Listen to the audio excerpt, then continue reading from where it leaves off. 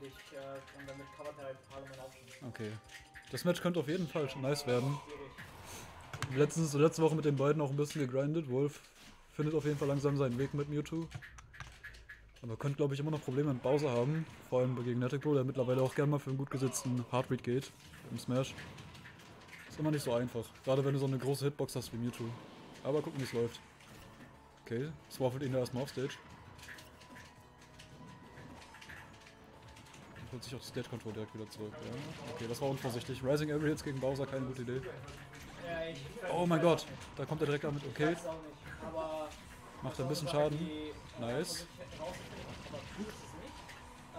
Nicht. Super viele Prozente, aber da kamen ein paar Prozente bei raus auf jeden Fall.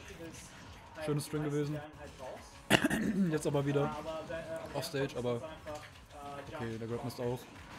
Und jetzt schon wieder Offstage. Das ist halt das Ding. Ich meine, die haben even Prozente, aber. Bowser überlebt natürlich viel länger. Teleport Recovery ist, glaube ich, auch nicht so gut gegen den Fire Breath. Oh, aber der trifft den Shadow Ball. Holt sich den ersten Stock. Also ja, bisher sieht es eigentlich gar nicht so schlecht aus für ihn. Mal gucken, wie es weitergeht. Okay, schöner Spot Dodge. Lässt sich nicht mal aufs Halbbeat treffen. Oh, Shadow Ball confirms, die können krass werden. 47%, frisst nochmal ein bisschen Fire Breath dafür. Okay.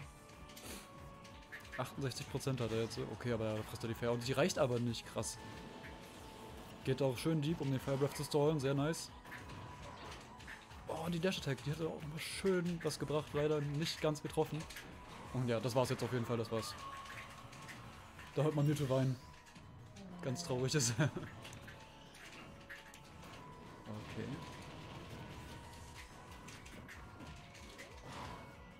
Backsrow. Marco hier schon wieder auf jeden Fall bei ziemlich wenig Prozenten. Versucht ihn da zu edgeguarden, aber auch nicht zu krass zu committen. Diesmal den Spot greedet und direkt den Tag Chase mit dem Fireball, äh, mit dem Fire Breath bekommen. Oh, einmal zu viel gejumpt. Das hätte er eigentlich reacten können. Schade. Ist aber auf jeden Fall viel mehr aware auf die gefährlichen Options von Mewtwo. Lässt sich da nicht mehr von der Sideby treffen. Downby haben wir auch schon länger nicht mehr gesehen. Da jetzt wieder auf Stage, da kann es funktionieren. Du musst aufpassen. Okay, teleportet auf die Stage. Holt sich kein Punish. Und genährt. Oh, das war greedy, das war greedy.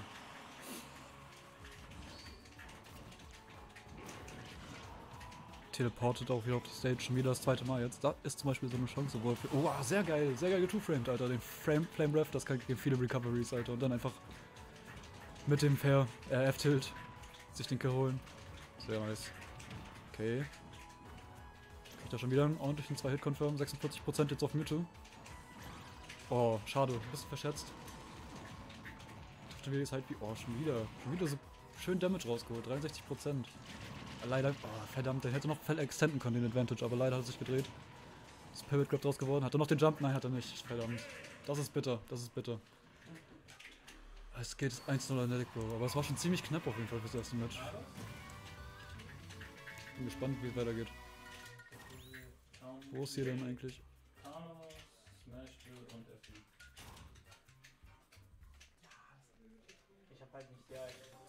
Perfekt. Gott ja nur, aber Aber ja, das.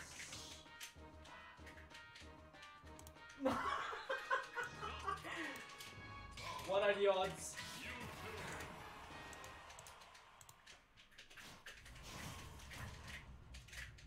Oh, da hat er raus.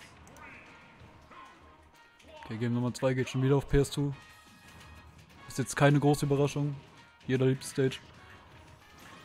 Auch für beide, glaube ich, gar nicht so schlecht. Und trifft da schon wieder die Downbeat direkt. Confirmed da wieder schöne 40%. Also grad, muss schon sagen, der Advantage von, von äh, Wilhelm wird auf jeden Fall cleaner. Wilhelm, Wilhelm, ich weiß nicht genau, wie man es ausspricht. Wolf. Oh, und da kriegt er auch den Air Dodge rein. 91%. Charged aber ein bisschen zu lange ab. Bowser's Hitboxen auch ziemlich riesig. Könnte da wieder. Okay, leider einmal ein Flame gestoppt, sonst hätte er vielleicht wieder für den Two-Frame gehen können. Und den Grab auch mispositioned. Diesmal versucht er den Hard Read, aber es hat nicht geklappt. Da kann er kann halt einfach schilden, wenn er grounded ist, sowieso. Vielleicht eher versuchen, aus dem Advantage zu bekommen. Da war der Pressure vielleicht gerade. Okay, das habe ich auch noch nicht gesehen, dass es einfach den Fire reflected und auf Bowser Damage macht, ob das abbricht. Gut zu wissen. Auf jeden Fall Natic Pro jetzt wieder ein bisschen behind. Aber der erste Game auch schon. Muss nichts heißen, haben wir gesehen. Direkt wieder den Flame Breath bekommen. Ja, baut da langsam seine Prozente auf. Aber muss er mehr aufpassen. Er frisst schon die ganze Zeit den Downbeat von Mewtwo. Das ist sehr sad. Wenn er das schildet, Aber kann er halt einfach den Regrab punishen. halt Okay. das Painfulste und dann schick. Okay, außer Hitbox auf jeden Fall. Aber kann der Charakter schon haben. Trifft diesmal nicht den Two-Frame.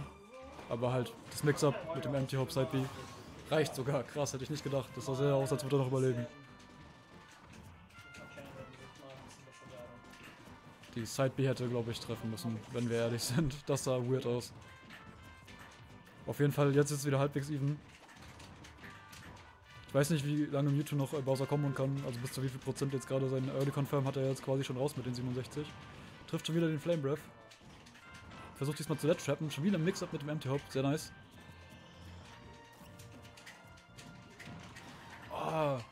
Geht, kriegt den Edge Guard mit dem Down B, aber hat nicht gespiked. Ich weiß auch nicht, wie das spiked genau. Ich glaube, man muss jumpen, um das äh, zu bekommen. Das war vielleicht einfach nur ein Dings. Äh, Normal Get-Up. Und dann den Tech Chase. Ja, das covert natürlich alles. Sehr smart, da den äh, Shadow Ball zu schießen, auf jeden Fall. Aber ich würde sagen, Bowser hat gerade einen kleinen Advantage. ich meine, Mewtwo könnte jetzt auch killen. Okay, ne, jetzt gerade natürlich nicht, wenn er auf Stage ist. Krass. Geht diesmal ein bisschen länger auf Stage mit der zweiten Wecker. Und holt sich den Kill diesmal auch safe. Okay.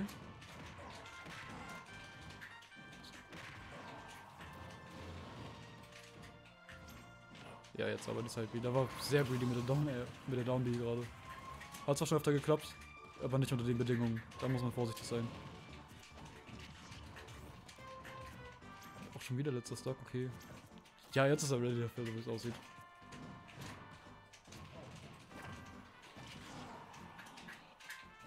Ah, muss jetzt trotzdem aufpassen. Offstage ist keine gute Position für Bowser in dem Matchup. Mewtwo kann schon ziemlich gut Edgeguarden. Uh, kriegt aber nicht die äh, Shadow Claw. F-Tilt, was auch immer. F-Hair, glaube ich. Ich komme mit den Moves immer noch nicht klar, Alter. Das ist schlimm. Ah ja, das war's. Ist schon wieder relativ greedy gewesen, aber es hat funktioniert. 1-1, Leute. Leicht noch Glück, dass du nach links geflogen bist. Nach rechts. Ich habe halt die erste nach innen geeilt und das war der Fehler. Und dann war es auch egal.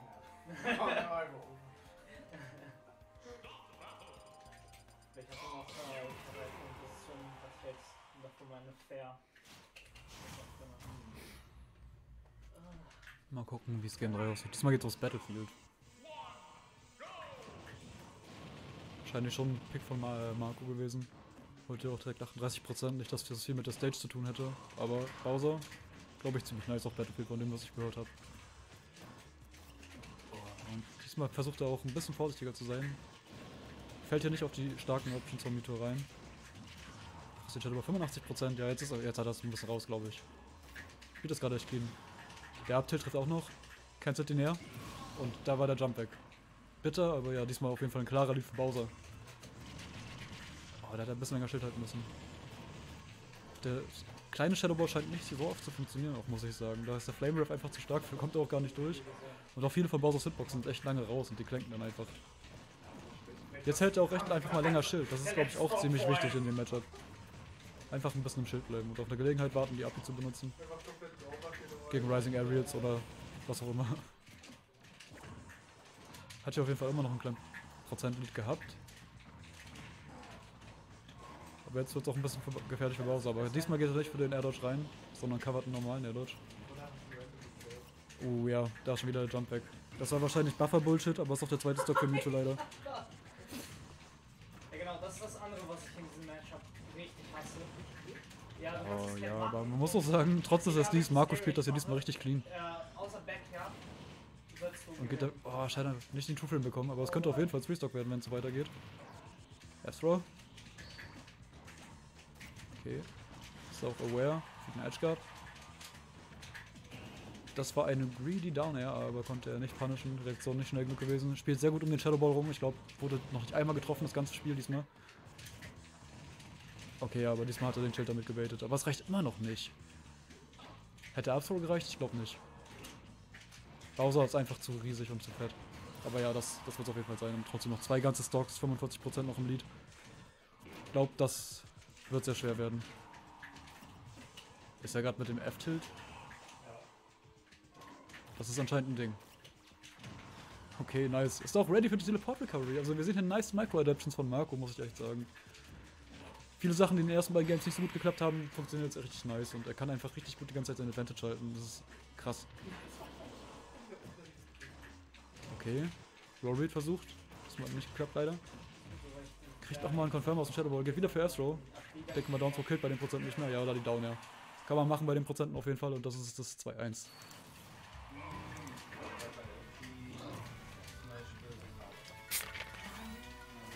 ist zu klein und zu leicht. Ja, nee, ich habe tatsächlich ich weiß gar nicht, ob es bei anderen Charakteren, ob es da egal ist. Nee, du hast, also, du, ähm, die erste habe ich nach hinten gehalten. Du hast nach links gegangen. Im Moment, wo ich das gesehen habe, habe ich dann nach links außen gehalten. Deswegen bin ich aus der einen Update rausgefallen. Oder, äh, nee, äh, APR war das. Das, nee, nee, du hast gut, du, du hast recht. Game Nummer 4 geht dann anscheinend auf Hollow Bastion. Den startet direkt mit dem Flame Breath, kann man machen. Ich meine, wenn man sich sicher ist, was der Gegner am Anfang tun wird, und wenn halt nach vorne dash direkt, dann ist es auf jeden Fall eine gute Idee. Hat auch direkt 18% genommen, bekommt zwar, und der Schild war auch low direkt. Okay. Side B? Bisschen zu langsam. Shadow Ball hat noch getroffen anscheinend, das hätte ich auch nicht gedacht. Aber diesmal sieht es auf jeden Fall ein bisschen mehr üb. Boah. Jab kann er allerdings nicht gegen Bowser machen, sonst wäre das auch wieder ein richtig äh, nice Advantage gewesen von Wilhelm. Ich muss schon sagen, Mewtwo sieht mittlerweile gar nicht so schlecht bei ihm aus. Zumindest die Kombos sitzen ziemlich gut mittlerweile, habe ich das Gefühl. Bowser natürlich auch ganz schönes Combo-Food. Den juckt es auch nicht so sehr bei 100% zu sein, wenn wir ehrlich sind, der kann dann noch ein bisschen länger.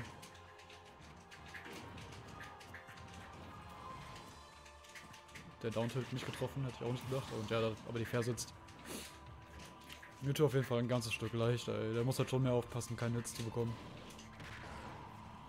Oder er trifft natürlich einen äh, Edgeguard. Das ist auch immer sehr gut, äh, eine gute Win-Condition auf jeden Fall für Mewtwo. So mal die Stockout zu closen und halt sein ein bisschen entspannt runterzuspielen und dann muss er auch nicht so viel approachen. Ich meine, du kannst ja an sich campen in dem Matchup. Bowser campen oder generell Heavys campen ist wahrscheinlich immer eine gute Idee. Vielleicht nicht bei DDD unbedingt, aber sonst. Zweiter Stock, hier auch schon bei 100% ey. S- Marco hat... Oh nein. Wir hassen es, das zu sehen. Ja, sieht leider aus, als würde es nicht mehr so lange gehen. Okay. Diesmal confirmt er aus dem Downslow raus. Das sah sehr true aus, aber vielleicht auch nicht richtig die Eid. Äh, mal gucken. Okay, nein. Oh, geparried einfach diesmal. Er lässt sich von den Sachen nicht mehr treffen, ey. Dass er es nach zwei Games schon so gut hinbekommt, finde ich krass. Ich bin bei sowas immer sehr viel langsamer. Da versucht er auch wieder die Landing ordentlich zu kriegen, aber es hat leider nicht ganz gereicht. Wollte da wahrscheinlich wieder für einen Jump Mix-Up gehen. Side B war allerdings ein bisschen riesig, die Hitbox. Ist halt. Und jetzt ist es noch eine Frage der Zeit, bis Mewtwo halt wahrscheinlich äh, seinen letzten Stock auch verliert. Könnte auch schon der Two-Frame werden. Nee, ist es nicht. Kein Pummel. 47%. Oh, nice. Okay. Weirdes Mix-Up, aber hat funktioniert.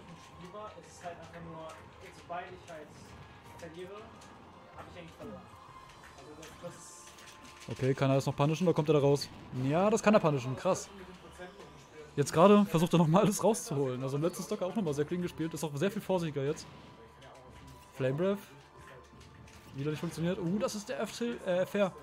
115%. Diesmal bei den äh, Get Up Attack richtig gemacht. Okay, geht hier wieder für Adult Treats. Oh Gott, das ist der Roll dahinter. Das ist eigentlich immer auch nicht unbedingt eine Option, die oft rewarded wird. Aber es war eigentlich diesmal ein guter Attempt. Was funktioniert? Okay, da ja, das muss sein, das muss sein. Ja.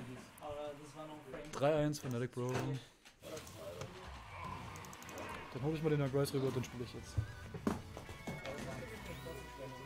Ja, ich finde so beide ist irgendwie schwer. Also Sheep kann schon echt gut rumnerven, wenn dein Schild und das haut. Ich glaube, vielleicht muss ich einfach doppelt so schnell, doppelt so aggressiv einfach dieses Matchup spielen.